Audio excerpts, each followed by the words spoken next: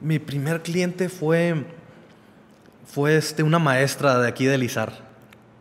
Este, yo estaba vendiendo productos de limpieza y una maestra me dijo, fíjate que mi hermana se, se fracturó la rodilla, se fracturó la rótula y no tiene para pagar la rehabilitación. ¿Tú crees que me puedas ayudar? Yo le dije, maestra, con todo gusto yo le ayudo. Podemos comenzar con, con terapias todos los días y, y pues vamos a ver qué resultado obtenemos. Lo más gratificante, Fernando, es de que yo decía entre mí, le voy a dar la terapia gratis, no importa. Pero al fin de la terapia, los pacientes siempre terminaban agradecidos y de alguna manera u otra ellos conseguían el dinero y te lo daban todo junto. Y así me pasó con todos los pacientes que yo les regalé terapias. Siempre se regresaba, siempre regresaba lo que yo, lo que yo daba, regresaba al doble. Los pacientes llegan con obesidad, con descontrol este, de diabetes, con hipertensión, con obesidad, con muchas cosas. Entonces, nosotros decidimos ir más allá con los pacientes, el ofrecerles un control de peso, ofrecerles el, poderles ayudar a, bajar de peso por medio de la nutrición, por medio del ejercicio. Y es lo que ofrecemos ahí en la clínica. Ofrecemos ejercicios, ofrecemos este, la rehabilitación física y también ofrecemos nutrición y psicología. Dejar todo, mi familia en Estados Unidos y pensar en que iba a tomar mucho tiempo en no verlos más. Iba a tomar probablemente 10, 15, 20 años, porque estás internado haciendo que el sueño se vuelva realidad. Muchas personas se van a Estados Unidos buscando un sueño. ¿Tú Yo viniste a México buscando un sueño? Sí, vine a México buscando un sueño. A principios del siglo XX, Henry Ford, quien es el padre de la industria automotriz como la conocemos el día de hoy, tuvo un problema con un generador eléctrico. Resulta que pues, se le descompuso. Entonces decidió contratar a uno de los ingenieros más renombrados del tiempo, que era Charles Steinmetz. Este ingeniero es considerado como uno de los padres de la electricidad, trabajaba en la General Electric, junto con, eh, bueno, padre de la electricidad junto con Nikola Tesla y con eh, Edison también. Entonces es una gran personalidad. Henry Ford decide contratarlo y, este, y, lo trae para que viera el generador. Eh, Charles le dice, pues bueno, ok, lo voy a reparar. Le pide una silla, una libreta, un lápiz y se queda viendo a la máquina y escuchándola. Duró dos días nada más escuchando la máquina, oyendo, poniendo atención y viendo que estaba bien, que no estaba bien.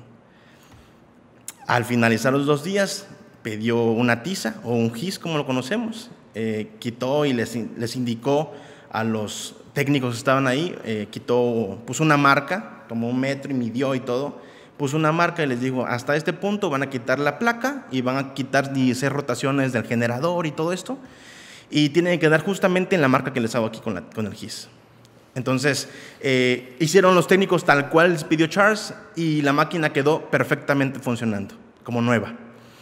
Eh, después de unos días, eh, Charles Steinmetz mandó la factura a Henry Ford y resulta que la factura era de 10 mil dólares una cantidad exorbitante. En aquel entonces, pues por supuesto, 10 mil dólares era pues, una millonada, ¿no? Comparado con lo que es ahorita, millones hablaríamos, ¿no? Entonces Henry Ford pues tomó la factura y dijo, esto es muchísimo. Entonces dijo, le regresó la factura y le dijo, favor de aclarar o hacer una especificación de los gastos que la factura está considerando, ¿no?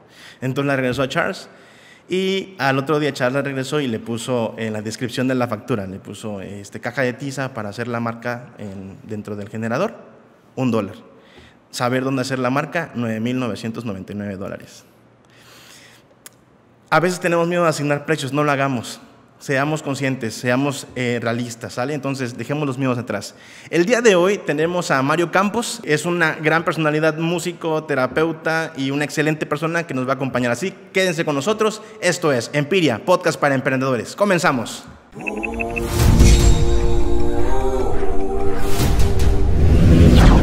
El día de hoy tenemos a Mario Campos Curiel, egresado de la carrera de terapia física y rehabilitación en la Universidad de Montemorelos, emprendedor apasionado por el trabajo desde los 6 años y con un espíritu ayudador. Hace 7 años fundó Ultra Clean, una empresa dedicada a proveer de productos de limpieza para empresas.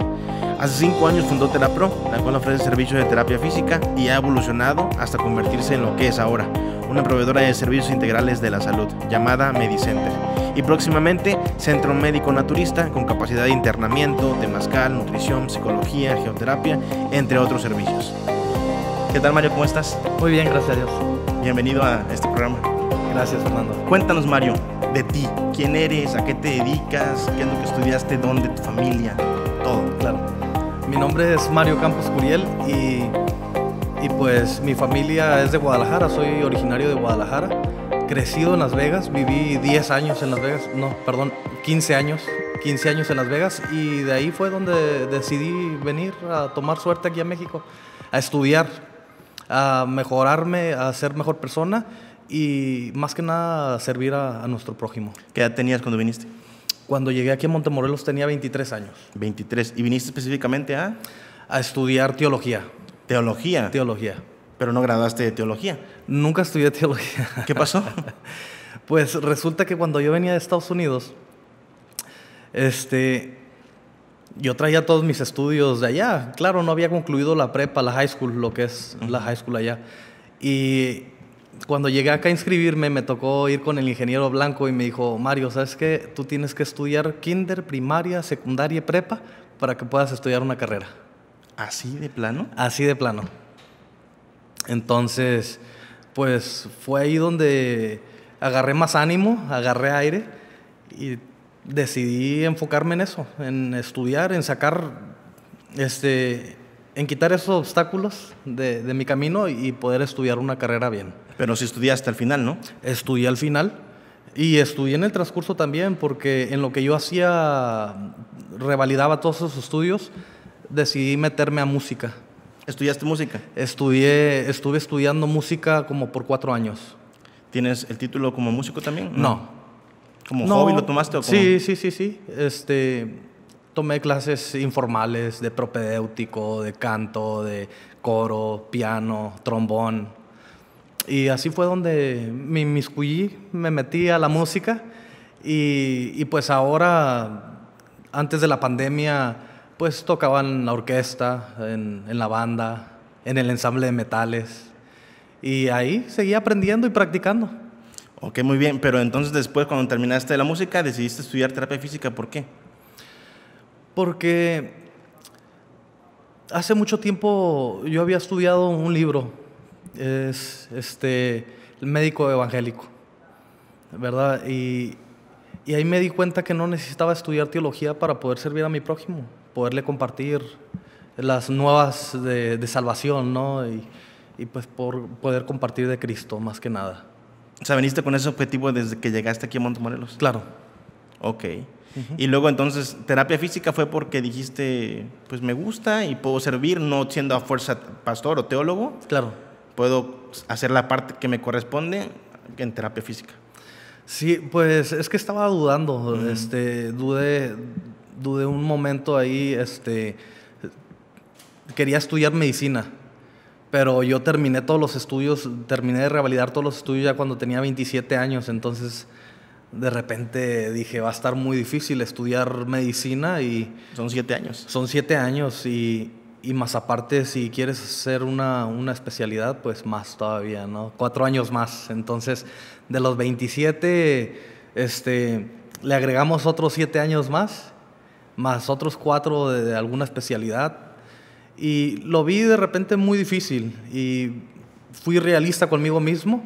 Y yo dije, vamos a, a estudiar algo que, que pueda también ser parte del área de la salud y poder también ayudar al prójimo. Ok, muy bien. Y luego, eh, cuéntanos, ¿graduaste de, de, de, terapia física y decidiste ser emprendedor o cómo fue que, que, te decidiste a iniciar tu negocio? Pues fue una etapa difícil de mi vida porque este, yo vine de Estados Unidos, eh, comencé a estudiar la prepa, pero pues yo vine con, con cero pesos. O sea, llegaste así con una mano atrás y una mano adelante, como se dice. Básicamente. Y de repente se, se me hizo se, se, me hizo muy difícil el, el, costear una carrera tan cara, ¿no? Era 90, 97 mil pesos el semestre. Entonces, pues los primeros dos años recibí una beca de aquí de la escuela.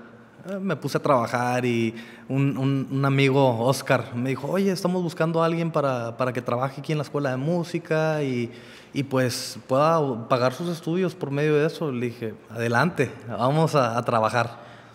Fue donde, donde ahí comencé a trabajar en la escuela de música. Trabajé por cuatro años en lo que terminaba todo y me sirvió para dos años de carrera. Ya cuando iba a, a mitad de la carrera, pues se iba, a se iba a acabar ya la, la La beca, beca. ¿no? Entonces ahí comencé a hacer números, comencé a, a cuestionarme cómo iba a pagar la, la otra parte, ¿no? Porque aparte de que iban a ser dos años, iba a ser un año de servicio también. Entonces fue, fue ahí donde este, pensaba noche y día y le pedía a Dios que me ayudara, que me, que me hiciera ver cómo, cómo yo iba a terminar de pagar este, la otra parte de la escuela. Dos años más. Dos años más más el servicio. Más en servicio, tres Sí. años más. Entonces, pues comencé a pensar, a pensar, a pensar y en unas vacaciones que me fui a Guadalajara, yo dije, bueno, a ver, ¿en qué puedo servir yo? ¿Qué, qué, qué servicio le puedo dar yo a la universidad? Y entre pensar y pensar, llegué a la conclusión que la universidad utiliza, pues, este, productos de limpieza, ¿no? Fabuloso, cloro, sarricida, escobas, trapeadores, toners. Y fue ahí donde comencé a emprender. A- aparte de que ya había con- este, colportado anteriormente, eso me ayudó bastante para sacar una idea de cómo tenía que hacerle para conseguir esos clientes. De primero fue muy difícil porque pues la universidad ya contaba con su Proveedor. con sus proveedores, exacto. Entonces, me puse a trabajar y el trabajo fue el que me dio, me fue abriendo el camino, porque de repente sí entraba yo en, en, en- en- una crisis de, de- que, ¿cómo le voy a hacer? Comencé a trabajar y, los clientes me decían, yo ya tengo mi proveedor y ya tengo mi proveedor y ya tengo mi proveedor.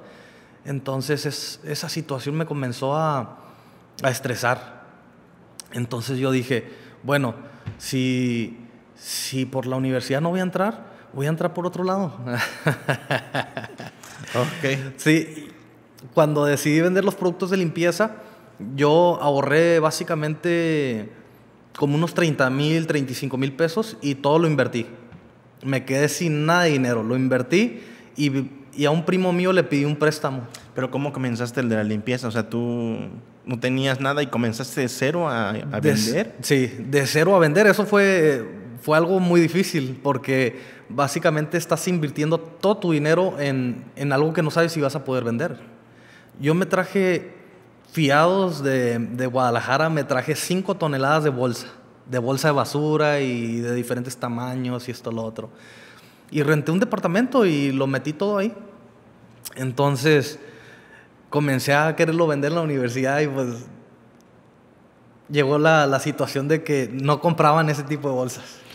Son las bolsas negras estas de la basura, de los... Bolsas negras, bolsas de agarradera y de diferentes bolsas. Entonces yo dije, bueno, si la universidad no las ocupa, va a haber alguien que las va a ocupar. Y me comencé a mover a todas las tiendas de alrededor de aquí en Montemorelos. Y fue ahí donde comencé a venderlas. Comencé a venderlas y de repente yo ya había dejado mi número de teléfono aquí a ciertas este, carreras. Dejaba mi número de teléfono diciendo los servicios que tenía y todo. Y de repente, oye Mario, ¿tienes papel higiénico? ¿Tienes bolsas? ¿Tienes productos de limpieza? Y rápido ahí comencé con uno. O sea, te empezaron a pedir cosas que no tenías. Me comenzaron a pedir cosas que, que sí tenía, que me había traído de Guadalajara. Ah, porque pero aparte de la bolsa trajiste también... Sí. Ok, ok. traje hipoclorito de sodio, este, traje este, para, hacer, para hacer producto, básicamente la materia prima. Y me puse a hacer todo eso. Un amigo aquí adentro de la universidad me dijo, ¿sabes qué? Yo tengo un cuartito que te puedo prestar atrás de mi departamento. Ahí mete todo lo que necesites. Comencé a hacer los productos de limpieza y me comenzaron a hablar primero de la escuela de música donde trabajé. Muy bien. me dijo la señora Mari Carmen, me dijo, mijo, si tú haces eso, yo voy a ser tu primer cliente. Y eso fue lo que me animó, eso fue lo que me llenó de esperanza. Yo dije, bueno, con un cliente ya yo hago, ya hago la- lo, lo demás y Dios va a hacer todo lo demás todavía, ¿no? Y tardó, tardó como unos dos, tres meses en que yo pudiera vender todo eso. O un poquito más, yo creo.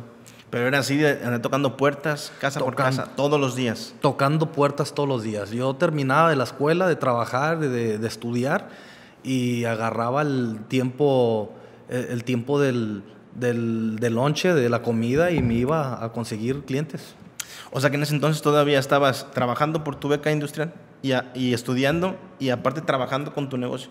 No, ya la beca de, de industria ya se Ya había, termina- acabado. ya ca- ok, ok, muy bien. ya había terminado. Entonces, este fue ahí donde agarré más valor. Yo dije, pues, mm, tengo fiado el producto, ¿verdad? tengo fiada la escuela también. Porque pues aquí te dan muchas oportunidades y te dan facilidades y creen en ti. Eso fue lo que más me impulsó a mí, de que este, personas de aquí dentro de la universidad confiaran en mí, me vieran en mí una esperanza en que sí iba a poder pagar esa, esa deuda. Y me comencé a motivar cada vez más y comencé a moverme y a vender más, a tener más servicios. Y, y fue lo que me ayudó a pagar la otra parte de la escuela. Ok, muy bien. Sí. Y entonces vendiste todas las bolsas, te quedaron 35 mil, pediste un préstamo y luego ¿qué hiciste? Pues ya cuando, cuando vendí todo, pagué, pagué mi préstamo. Pa- pagué la deuda que me habían, lo que me habían fiado O sea, lo que, todo lo que juntaste, conseguiste un préstamo y pagaste lo que te habían fiado del producto. del producto. Ok. Lo que me habían fiado del producto, más lo que yo invertí, pues ya lo había triplicado básicamente. Este, y más todavía. Entonces comencé a con- conseguir este, proveedores acá cerca de materia prima y todo, para ya no traerlo desde Guadalajara porque me salía muy, muy caro. Ok. Entonces, pues comencé a moverme y comencé a agarrar clientes y comencé a hacer una cartera de clientes. Este, yo tenía como objetivo 30 clientes. Entonces, dentro de ese objetivo, pues logré conseguir los 30 clientes. Y ya no nada más les vendía productos de limpieza, ya les vendía utensilios, les vendía toners, les vendía todo lo que necesitara una oficina. ¿Y esos 30 clientes se los pusiste por escrito y todo? O Sí, sea, sí, llevaba una agenda, por eso era muy importante, porque eh, son tantas personas que ves todos los días que pues no te recuerdas a quién le fiaste, a quién le llevaste y pues llevar una agenda me resultó muy útil. Fíjate que, que ahorita también he estado metido mucho yendo este, varios podcasts y también comentaban que, que los objetivos se deben poner por escrito, Claro. que si no, no funcionan. Entonces, para quienes nos están viendo por ahí, todos los objetivos, o sea, donde quiera que he leído, que he visto, que todo, todos coinciden en que los objetivos tienen que ir por escrito. Todos. No, si no, no se logran, ¿no? Y con una fecha límite. Si no tienes una fecha límite, entonces no, no se logran porque no estás presionándote a ti mismo, no te exiges, no, no tienes algo claro. Y, hablaban también de- del realismo en los objetivos, ser claros, este, de, de- no soñar tanto, pero tampoco ser mm, eh, como que muy abajo, ¿no? Entonces, tener un objetivo realista para que lo pudieras cumplir y si podías un poquito más, pues también estaba bien porque a lo mejor yo mi objetivo es ahorrar este, 100 mil pesos y, y yo digo, no, podía ahorrar 200 mil. Y a lo mejor, si mi objetivo hubiera sido, yo a lo mejor yo ahorro 150 mil, pero si mi objetivo hubiera sido ahorrar 100 mil, a lo mejor yo hubiera ahorrado nada más 70, ¿no? Claro. Entonces depende muchísimo del objetivo que te pongas para ver hasta dónde alcanzas, porque así funcionamos, ¿no? Claro, Entonces eso, eso es parte vital, es lo que te hace ser también emprendedor, ¿no? definitivamente. Entonces, eh, eh, ¿qué pasó después de todo esto? Después de todo esto, pues seguí trabajando. Sí. Seguí pagando la escuela, seguí emprendiendo diferentes este, proyectos. Pero ya no seguiste con lo de los químicos y todo eso. Sí. Sí, seguiste. O sea, Se- seguí con los químicos. Ya cuando iba en tercer año comencé a tener pacientes. Comencé a presionarme a mí mismo en agarrar este, experiencia, en saber tratar un paciente, en saber tratar diferentes, diferentes tipos de lesiones. ya comenzaste a hacer lo que estabas estudiando. ¿no? Claro. Ok. ok. Sí, me comencé a, a encarrilar a lo que yo estaba estudiando. Es que hay muchos casos en los que estudiamos una cosa y nos dedicamos a otra cosa totalmente diferente, pero pues nada que mejor que dedicarte a lo que estudiaste, ¿no? Claro. O sea, es, como lo ideal porque no pierdes como que más tiempo en otra cosa, ¿no? Sí, sí, sí. ¿Y lo de los químicos lo siguen haciendo ahorita o, o ya no? No, eh, a inicios de este año decidí abandonar este trabajo, Totalmente. este, pasárselo a alguien más, porque pues yo ya no podía con los dos trabajos. Ah, pero sigue funcionando entonces el negocio. Sigue funcionando. Ah, ¿Y eso te da todavía frutos a ti? ¿O No, ya te- no, no, Oh, no. No, yo dije, pues alguien que le pueda sacar provecho, alguien que le pueda conseguir a esa persona, ¿no? Que, que pudiera sacarle provecho y que pudiera invertirle todo este tiempo que se necesita, ¿no? Tiempo, dinero y, y pues muchas ganas que se necesitan para tener un, un negocio. Ok, muy bien. Este, y bueno, ¿cómo fue entonces que te animaste y decidiste eh, hacer lo que tú sabes? O sea, ¿qué fue lo que de repente dijo, pues voy a hacer esto? ¿Y cómo comenzaste haciéndolo? Pues fue difícil porque este, yo duré toda la carrera con este negocio y mi mamá me decía, ¿sabes qué, mijo? Quédate ese trabajo, ese trabajo está muy bueno. Síguelo manteniendo, síguele dedicando tiempo. Entonces, yo me, me vi en, en, en, la dificultad de, de, que estaba atendiendo dos negocios a la misma vez y realmente estaba descuidando los dos okay. al, al, al, mismo tiempo. Sí traté de conseguir a alguien que lo manejara, alguien que pudiera yo este, enseñar y poderle sacar provecho entre los dos, pero dije, no, vamos a dedicarnos 100% a lo que yo estudié y que aunque al principio no es gran dinero, pero es, es, es el sueño, ¿no? Es, es la meta que yo tenía, de, de, tener mi clínica, de atender pacientes, de ser un profesional del área y de no estar divagando entre dos negocios diferentes. Ok. Uh -huh. Entonces, hubo un momento en que decidiste dejar de plano el otro para dedicarte a lo que haces ahorita. Claro. ¿Y cómo fue tu experiencia? ¿Cómo comenzaste ahí? ¿Tu primer cliente? ¿Cómo fue? Mi primer cliente fue, fue este, una maestra de aquí de Lizar. Este, yo estaba vendiendo productos de limpieza y una maestra me dijo, fíjate que mi hermana se, se fracturó la rodilla, se fracturó la rótula y no tiene para pagar la rehabilitación. ¿Tú crees que me puedas ayudar? Yo le dije, maestra, con todo gusto yo le ayudo. Podemos comenzar con, con terapias todos los días y, y pues vamos a ver qué resultado obtenemos. Entonces, fue mi primer cliente cuando yo iba como en tercer año de, carrera. Iba en tercer año de carrera, todavía manejaba lo que eran los productos de limpieza y los toners y todo. Entonces yo comencé a, a agarrar pacientes gratis, decirles, ¿sabes qué? Yo les voy a regalar la terapia. Les regalo la terapia, voy hasta su casa, y pues a, a, la misma vez que les estoy ayudando, me estoy ayudando a mí mismo, en aprender, en tener, en tener más que nada experiencia tratando, tratando pacientes, lesiones complicadas. Ese fue mi primer paciente. Ok, entonces la estrategia tuya fue comenzar dando un servicio gratuito. Claro. Pero también a la vez tu estrategia fue para darte a conocer, ¿no? Ese tipo de servicios de terapia física generalmente se difunden de boca en boca, ¿no? Tú recomiendas, ¿no? Sí, claro. Entonces es una buena estrategia también comenzar dando algo, un, ofreciendo un servicio y más a alguien que en este caso no tiene los recursos también para atenderse, claro. ¿no? Entonces como matar dos pájaros de un tiro porque ayudas, te estás beneficiando a ti, beneficias a la persona y puedes ayudarte a crecer también, ¿no? Entonces algo muy noble. Sí, muy, muy noble. Y lo más gratificante, Fernando, es de que yo decía entre mí, le voy a dar la terapia gratis, no importa.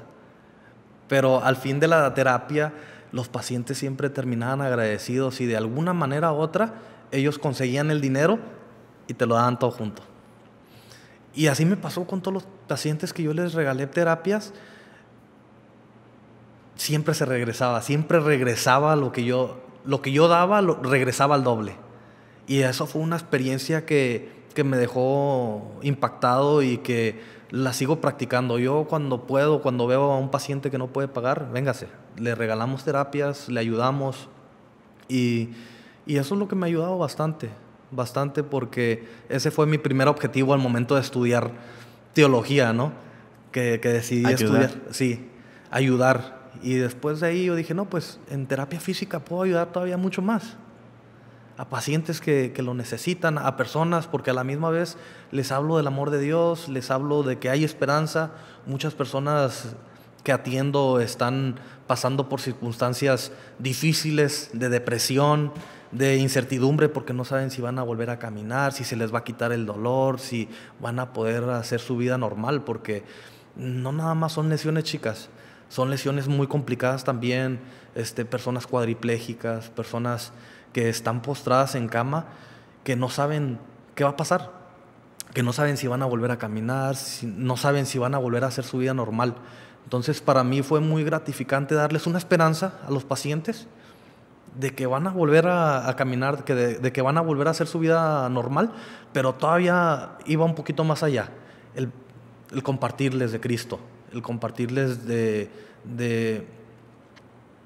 de, una relación que yo llevo con Dios y que, y que es muy gratificante, que tenemos una esperanza más allá todavía, que, que nuestras limitantes que podamos tener aquí en la tierra no, no son nada comparado a lo que nosotros vamos a recibir. en el cielo. ¿Podrías compartirnos alguna historia que es así puntual? ¿Podrías? Eh, eh, de, algún, ¿De algún caso que tú recuerdes con mucho cariño de una situación así? Sí, sí, sí, cómo no. Tengo muchas experiencias de ese tipo. Una nada más. que tú digas, esta fue como que así. Claro. Como que te haya marcado, que has dicho, no, yo tengo que hacer esto porque. O sea, que te haya a ti motivado también a hacer lo que haces hoy. Claro.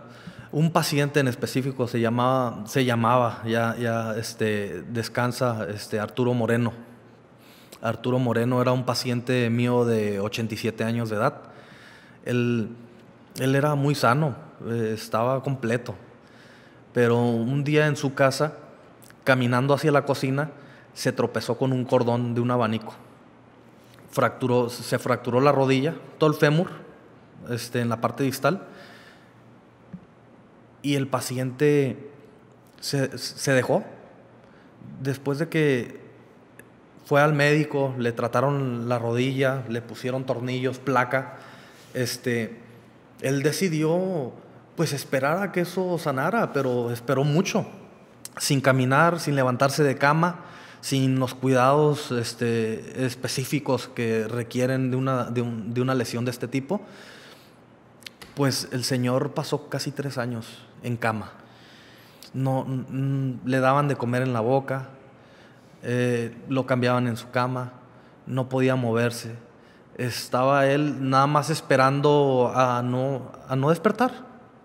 Entonces yo llegué y el Señor está, estaba con un estado de ánimo muy mal, ¿no? enojado y, y, este, sin energía, sin ganas de hacer nada. Entonces comencé a motivarlo, no, no, no, no, usted va a estar bien, usted va a volver a caminar, no se preocupe. Yo me estaba poniendo a mí un reto muy grande, ¿no? Este, la, la hija del señor Arturo me dijo, mira, pues queremos darle rehabilitación en su rodilla.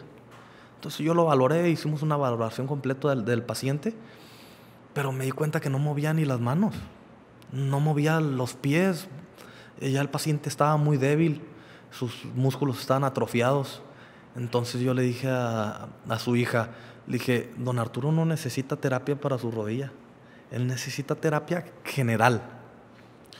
Comenzar a mover sus brazos, darle fortalecimiento, la pierna buena, este, fortalecerla, la, pierna que, tuvo la lesión, este, rehabilitarla, darle, darle la flexibilidad. Le dije, esto no es de una terapia, esto son de muchas terapias. Y pues si ustedes este, dicen que sí, pues yo voy a estar viniendo aquí dos veces por semana, tres veces por semana, lo que sea necesario para que don Arturo vuelva a ser independiente dentro de su casa. Y así fue. ¿Después de cuánto tiempo? Después de, bueno, nosotros vimos cambio desde la primera semana. La primera semana pues yo vi que el paciente pues tenía mucho miedo para levantarse de cama, para movilizarse, tenía miedo para, para todo, él tenía miedo para, este, tenía miedo el fracturarse otra vez, el caerse. Entonces le comencé a quitar ese miedo. La primera terapia le comencé a hacer movilizaciones de miembro inferior, miembro superior, todo el cuerpo. Y al segundo día que fui, lo senté. Le dije, usted se tiene que sentar. Se tiene que sentar, si no, no va a mejorar. No, yo no, yo tengo mucho tiempo sin sentarme, yo ya no voy a poder sentarme. Bien negativo yo, ¿cómo no? Usted va a poder sentarse, vámonos. Y así. Lo senté ese mismo día, este, y como en tres meses, bueno, después de la segunda semana que yo fui a atenderlo, a movilizarlo, a darle fortalecimiento, lo puse de pie. Le dije, usted se tiene que poner de pie. U- su rodilla ya soldó, usted, sus huesos están muy bien, nada más es de querer. Y así me lo fui llevando, empujoncitos, todos los días, a, a- este, animarlo a caminar, a subirse a su silla de ruedas, a, a hacer más ejercicio, a exigirle más en los ejercicios y logramos levantar al señor Arturo como a los dos, dos, tres meses. Dos, tres meses conseguimos un andador y con el fortalecimiento que ya le habíamos dado, lo pusimos a caminar. Entonces, el, el recuerdo que, que sí me, me queda es de que sus familiares me dijeron, no, ¿sabe qué? Llevaba una semana dándole las terapias y ya come con nosotros en el comedor. Entonces, eso me, llama, me, me llenaba a mí de, de entusiasmo y de alegría Claro. y, y veía el resultado del trabajo, veía el resultado del empeño y, y- y más que nada veía el resultado de, de don Arturo en que lo animábamos a, a- a que sí iba a poder, a que sí, si él quería, todo se iba a conseguir. El señor, su sueño era manejar su, su camioneta.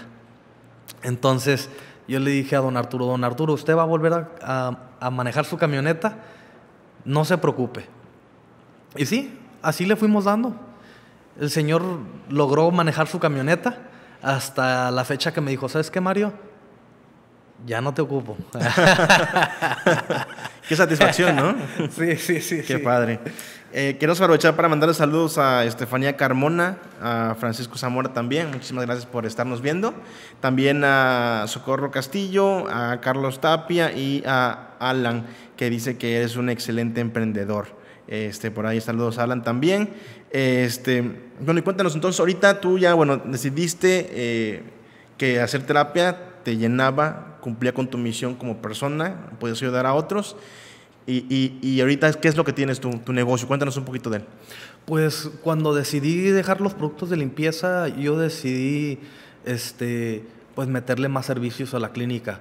Eh, Tu clínica está aquí en Montemorelos. aquí en Montemorelos. Me decías que tienes dos negocios, ¿no? Ahorita. Sí. Eh, la clínica que tienes en, en- aquí, me decías, ¿en qué dirección es? Para quien nos esté viendo aquí en Montemorelos. Es, es en Abasolo 222. Abasolo 222. En el centro, frente a la farmacia Guadalajara. Ok. Y la otra está en. Está por Puerta La Boca. Ok. Que está como a 15 minutos de aquí de A Montemorelos. 15 minutos más o menos. ¿Qué servicios ofreces ahí ahorita? Eh, en la clínica ofrecemos los servicios de consulta general. Cuando decidí dejar los productos de limpieza, decidí meterle más servicios a la clínica. Entonces le metimos consulta general, le metimos, este, tomamos pruebas para análisis, este, para laboratorios, le metimos este, psicología, nutrición y farmacia, farmacia naturista, suplementos suplementos naturales. Entonces, es lo que tenemos ahí en la clínica, todos esos servicios. Y allá en, en, lo que es Puerta a la Boca, que va a ser, lo estamos construyendo todavía, todavía no tenemos ningún servicio allá, pero el plan es de que todos los servicios que tengamos en la clínica los vamos a implementar también allá en- en ese centro que estamos haciendo. Es una clínica este, médica naturista. Ok. Que, que va a ser diferente, eh, va a ser, eso me comentabas que era más como de, de estar ahí el, paciente dentro del, del Claro. lugar y quedarse internado, ¿o cómo iba a ser ese? Bueno, tenemos varias, varias modalidades. Vamos a tener Sí. paquetes para diferentes tipos de pacientes. Hablábamos de que este tipo de servicios también están ahorita como que eh, eh, en boga, ¿no? Porque están creciendo y entonces este, la gente lo está buscando, ¿no? Para desintoxicarse, para tratarse en tratamientos, en tratamientos de diabetes, no sé, con Claro. eh, medicamentos. Entonces, ¿cómo fue que tú descubriste este? Bueno, ese era un sueño desde que yo inicié a, a- a- a estudiar terapia física. Sí. El, cuando llegaron, bueno, cuando nos dieron unas clases de, de terapias alternativas y terapias naturales, a mí me motivó bastante este tema, lo de terapias naturales, porque pues incluye todo lo que Dios nos da, todo lo natural. Entonces, a mí me, me llamó mucho la atención y, y ahora que se dio la oportunidad y más con esta contingencia, eh, vimos la necesidad de que el paciente ocupa que uno como profesional vaya todavía más allá. Este, lo que queremos, nuestro objetivo principal es, es reeducar a los pacientes, es eh, este, enseñarles una alimentación, enseñarles el ejercicio, la importancia del ejercicio, enseñarles la importancia de prevenir por medio del ejercicio y la alimentación y el descanso y la esperanza y pues todos los remedios naturales, ¿no? Que son los ocho remedios naturales y más aparte el creer en Dios, que es lo más importante. Entonces ahorita tú te caracterizas porque ofreces un servicio integral, ¿no? No nada más es como de que, porque el típico servicio es ven, te doy un masaje y ya, se acabó, ¿no? No, Claro, tú no. tratas de integrar todo lo... Sí, sí, sí, es que es- yo comencé con rehabilitación física y implementamos también el servicio de, de masaje. Este, va muy relacionado con la carrera. Entonces, los pacientes llegan con obesidad, con descontrol este, de diabetes, con hipertensión, con obesidad, con muchas cosas. Entonces, nosotros decidimos ir más allá con los pacientes, el ofrecerles un control de peso, ofrecerles el, poderles ayudar a bajar de peso por medio de la nutrición, por medio del ejercicio. Y es lo que ofrecemos ahí en la clínica. Ofrecemos ejercicios, ofrecemos este, la rehabilitación física y también ofrecemos nutrición y psicología. Ok, bien. Y, y me comentabas también que ahorita el negocio puede operar perfectamente sin ti, ¿no? Claro, Ok, hablábamos de eso, eh, eh, de acuerdo al libro de Padre Rico, Padre Pobre, eh, hablaba de los cuatro cuadrantes que hay, ¿no? Entonces, muchas veces creemos este, que ya con que yo tenga mi clínica y ya estoy operando, ya soy emprendedor, pero no, tenemos que generar negocios que sean autosustentables y que en algún momento yo pueda salirme de él para que eso siga funcionando y yo dedicarme a lo mejor a otra cosa o a una nueva línea de producto y todo eso. Entonces, eso es verdaderamente eh, el emprendimiento en este caso, ¿no? Entonces, lo que, lo que tú estás haciendo, ¿no? claro. tener más clínicas, ofrecer más servicios y tener toda esta parte más completa y más integral Claro. para un servicio que se busca ahorita, ¿no? Sí, sí, sí, sí, definitivamente. Conozco personas que vienen desde otros estados aquí a Canoas, Claro. Canoas, sí, que viene muchísima gente de todas partes. Claro. Se viene a internar aquí un mes, dos meses para tratarse de X enfermedad, ¿no? Sí. Eh, hasta gente famosa ha venido aquí. Claro. Es- específicamente buscando el servicio, ¿no? Entonces es algo que, que pues tiene mercado, ¿no? Por así decirlo. Definitivamente, eh, ahora el área de la salud está tomando auge en cuestiones de, de salud, en cuestiones de reeducación, en cuestiones de, de ejercicio y, y de un nuevo estilo de vida, porque nosotros nos hemos basado a tradiciones, a tradiciones que, que las, las va pasando de familia en familia, ¿no? Tradiciones de alimentación, que el pozole, que, que las empanadas, que alimentación que probablemente nos perjudica, ¿no? Claro. Mario, ¿cuál ha sido tu mayor reto como emprendedor? El mayor reto, el mayor reto yo podría considerarlo el hecho de, de haberme decidido dejar eh, todo, mi familia en Estados Unidos y pensar en que iba a tomar mucho tiempo en no verlos más. Iba a tomar probablemente 10, 15, 20 años. Y yo creo que ese es el mayor reto porque yo llevo ya 12 años sin ver a mi familia. Sin verlos. He visto a una hermana mía que, que puede venir, pero a toda mi familia, este, a mis hermanos, a mi mamá, eh, de repente eso es lo más difícil. El decir, ¿sabes qué? Voy a dejar todo conscientemente de que probablemente tenga consecuencias, ¿no? De que vas a dejar de ver a tus seres queridos. Básicamente vas a estar, este, se podría decir, se podría decir preso. preso porque, porque no puedes ver a tus seres queridos. Porque estás internado haciendo que el sueño se vuelva realidad. Muchas personas se van a Estados Unidos buscando un sueño. Tú Yo vine- viniste a México buscando un sueño. Sí, vine a México buscando un sueño. Y ese sueño, ese sueño me ha costado. Me ha costado comenzar este, en números rojos, en negativo, en este, menos cero, ¿no?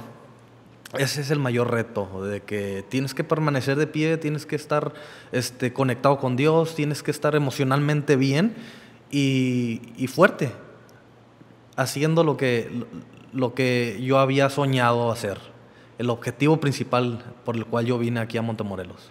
Fíjate que estaba leyendo hace poco y, y yo, la verdad, sinceramente no estaba muy de acuerdo con lo que estaba leyendo. Habla de que no se puede ser emprendedor a medias. O sea que que hay gente que, hay emprendedores o gente que busca eh, estar un poquito, estar, echarle muchas ganas, pero poquito en esto y balancear con la familia, balancear con los amigos, balancear con, pues, con tu vida, ¿no? Y todo, llevarlo de manera, este... Bien equilibrada, Bien ¿no? equilibrada, ¿no? Y saludable, como, como a veces nos lo pinta, este... Sí. Las películas, o yo qué sé, ¿no? Entonces, pero, pero, pero me, eh, en, en eso decía que, que, que no, que no es así, que debes dedicarte al 100% a lo que estás haciendo. Y ahorita me lo confirmas. Claro. ¿Tienes, uno, ¿Tienes una fecha límite para regresar a Estados Unidos? ¿O, o piensas traerte a tu familia para acá? ¿O qué planes tienes? Pues el plan, el, el plan mío es quedarme aquí en México, es lograr mis sueños, Sí. es lograr eh, este, eh, este objetivo que tenemos a, a largo plazo. Tenemos este, algo claro a corto plazo, mediano plazo y a largo plazo es necesario tener, tener también objetivos. Entonces, como todavía no concluyo, sí me gustaría regresar a Estados Unidos y he intentado este, regresar, pero entre el trabajo y entre que no te dan la visa y cosas así, dices, mejor me dedico 100% al trabajo y lo de- después Dios va a poner los medios para que yo pueda ir o para que mi familia pueda venir. ¿Dónde te ves tú y dónde ves tu negocio en cinco años en el futuro? En cinco años el negocio lo miro estable, probablemente con, con este, pues ya van a ser dos negocios ahora que van de la mano, están relacionados totalmente y uno lleva al otro.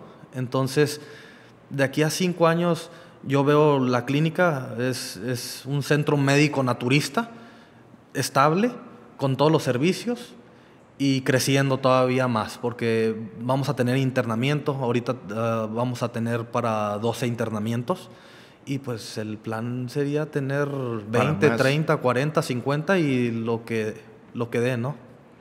Ok, muy bien. Eh, está, está, está muy padre que, que tengas objetivos claros, hablábamos ahorita, ¿no? Entonces, todo esto es parte también de, de- de- de ser emprendedor y tener todo esto claro, ¿no? Eh,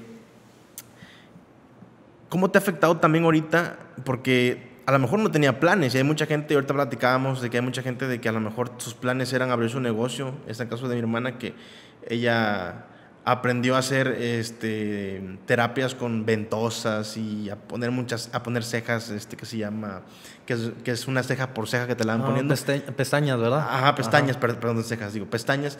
Y resultó que cuando abrió su negocio comenzó esto de la pandemia. Entonces se fue el local que rentó, todo el mobiliario que invirtió, lo perdió todo. Claro. Entonces, ¿cómo te ha afectado a ti esto de la contingencia del COVID? ¿A ti, a ti cómo, te ha, cómo te ha afectado y qué estás haciendo? Eh, sí nos ha afectado por, por muchas cuestiones, ¿no? Por inseguridad más que nada. No sabes este, qué persona puede estar con- contagiada de coronavirus. Hay personas que tienen este, síntomas y hay personas que no tienen síntomas. Entonces, de repente los pacientes que son de edad y que son vulnerables a, a contagiarse, pues deciden mantenerse en casa. Y es la recomendación que nosotros le damos al paciente, seguir haciendo sus ejercicios en casa y tener una dieta balanceada y no dejar el ejercicio. Entonces, hay muchas personas que llegan nuevas y hay muchas personas que ven que se pone difícil porque han habido picos. Y así es la reacción del, del- negocio también. Sube y baja. De repente sube y de repente se mantiene estable, ¿no? Entonces, sí ha afectado, pero no para cerrar. Ok. Este, al revés, yo estoy haciendo todo lo posible por que en medio de esto yo pueda seguir creciendo, pueda seguir este, teniendo pacientes, innovar, este, tener las medidas eh, Sanitarias. sanitarias este, adecuadas y pues darle una seguridad al paciente, ¿no? De que va a estar bien, de que tenemos ahí varios servicios, este, como el de medicina. Si un paciente llega con checamos la temperatura, checamos cómo está el paciente antes de- que entre y si el paciente se siente bien, lo pasamos y si no, lo, lo pasamos con el médico inmediatamente para que lo cheque. Ok, bien. Entonces, tú llegaste aquí hace 12 años. Hace 12 años. Hace 12. Si pudieras regresar en el tiempo y, y ver a tu yo de hace 12 años y pudieras decirle nada más, darle un consejo, decirle una frase nada más, ¿qué le dirías? Pues le diría que le echara más ganas.